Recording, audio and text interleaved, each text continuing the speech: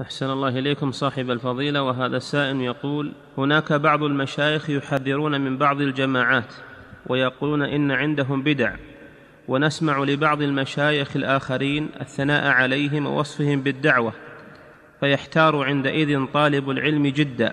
وهذا الموضوع يا صاحب الفضيلة أشكل علينا فكيف نتعامل معه؟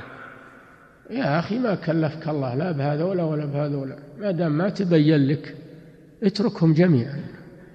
خذ الطريق الصحيح واترك هؤلاء جميعا. واطلب العلم. نعم. إعداد مشروع كبار العلماء بالكويت. أعزها الله بالتوحيد والسنة.